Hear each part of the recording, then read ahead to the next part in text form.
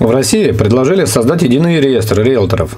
Депутат Госдумы Иван Сухарев подготовил законопроект о посреднической деятельности на рынке сделок с недвижимостью. В пояснительной записке к проекту он отметил, что на сегодняшний день в России оказание услуг на рынке сделок с недвижимым имуществом является широко востребованной сферой предпринимательской деятельности.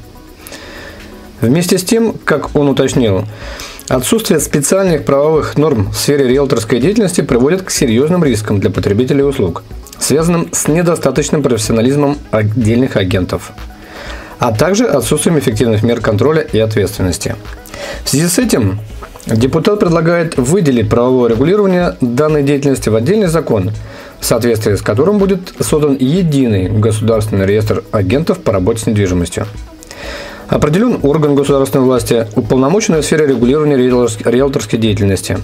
Введена система обязательного страхования сделок с недвижимостью и так далее – Направляю вам для заключения правительства Российской Федерации проект федерального закона о посреднической агентской деятельности на рынке сделок с недвижимостью, говорится в тексте обращения на имя Мишустина. Никогда такого не было, и вот опять. Очередная попытка добраться до риэлторов на законодательном уровне. Причина понятная. Слишком много денег уходит мимо казны и нет контроля. Но остаются вопросы. Кто этот депутат, который подготовил законопроект? И как он связан с недвижимостью. Понимает ли он хоть что-то, как устроен риэлторский бизнес? Как будет устроена система контроля и сертификации? Будет ли обучение, экзамены или лицензирование?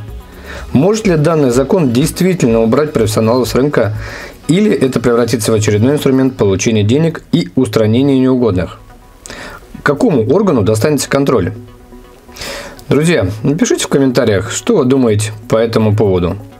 Не забудьте подписаться на канал Приоритеты с юристом. Увидимся в следующем видео. Пока.